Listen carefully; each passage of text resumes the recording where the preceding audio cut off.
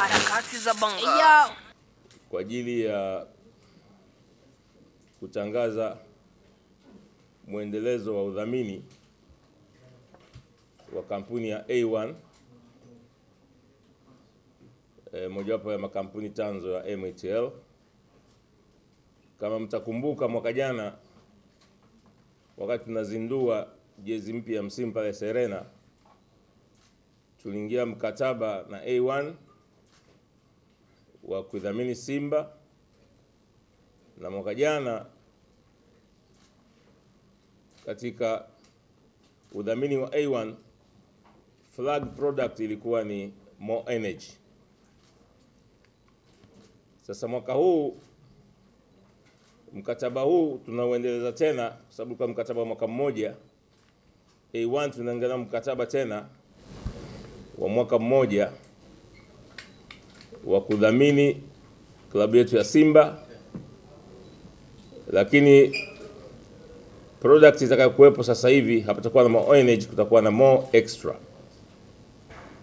Kwa hiyo kwa msimu ujao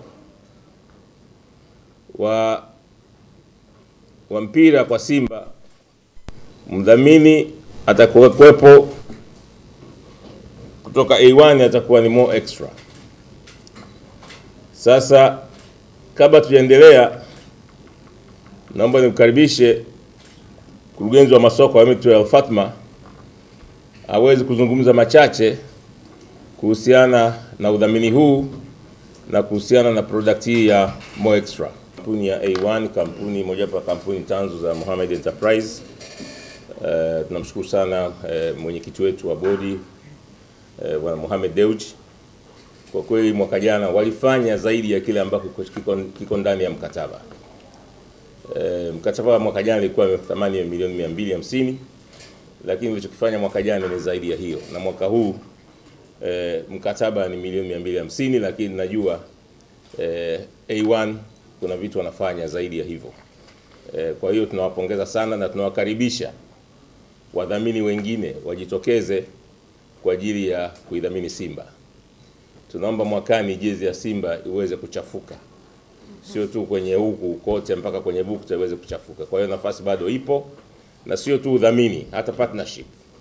Kuna nafasi nyingi sana ambazo hivi karibuni tutapata eh, eh, mkuu wa idara ya masoko eh, ataweza kushirikiana kuweza kuvuta wadhamini wengi zaidi eh, mbali ya mdhamini mwingine ambaye yupo, lakini tunaomba zaidi wadhamini wajitokeze.